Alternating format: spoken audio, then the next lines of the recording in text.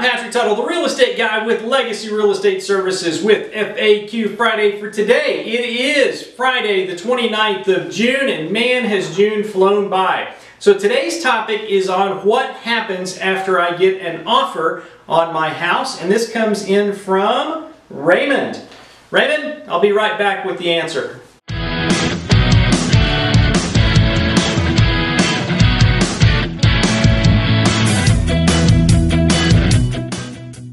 All right, so I'm back with the answer. And Raymond, your question is what happens when an offer comes in on your house? So if you've got your property for sale, whether it's from a realtor or whether you're doing it for sale by owner and uh, a buyer says, hey, I'll buy the property for X. Well, typically you're going to get an offer, at least in our market, you're going to get an offer for less than what you're asking. That's just typical in our market. Other parts of the country, you might get an offer for much more than you're asking just because of the demand and the demographics of the buyer pool that are in that market. If you're represented by a realtor, my recommendation is that your realtor would first give you what's called an estimated net proceeds worksheet so that you can see what your estimated net on a positive side would be or what you might be writing a check for if you are on the negative side. So that's what I like to start with because I want to show my owners where they're starting from a financial standpoint.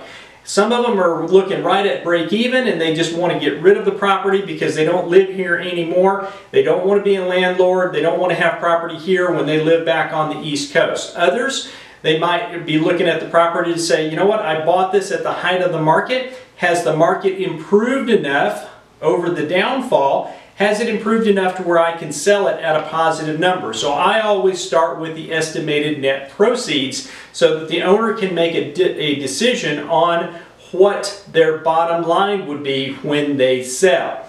Once you have an agreement, either verbally or in writing, between the buyer and the seller, then the broker, if brokers are involved, they would put the date of acceptance, and that's what we call the effective date or the date of execution on a contract.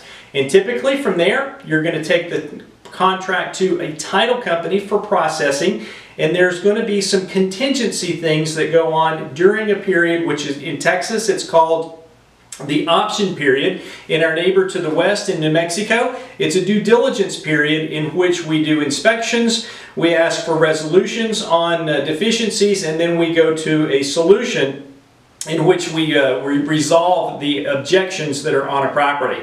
So depending on which state you're in, Texas or New Mexico or somewhere else, you may call it something different, but we've got some processing time that goes on and then you go towards closing or termination of the contract, whichever it is that the buyer chooses. If you go to closing, Maybe loans are involved, you've got loan applications, you've got to get documents in. There are a whole slew of things that can go on. Now, in the essence of time, if you want to see my five-part series of what happens after you get a contract on your house to sell, send me an email, patrick at patricktuttle.com, and I'll be happy to send you that five-part series video of what happens after I get a contract to sell my house. And you'll learn all the things, including the 88 ways in which you can lose the contract on your house. For the rest of you out there, thanks for watching. I pray that if you've got questions for me, you would send me a message either here on Facebook, LinkedIn, YouTube, wherever it is that you're watching it. Call me here at the office,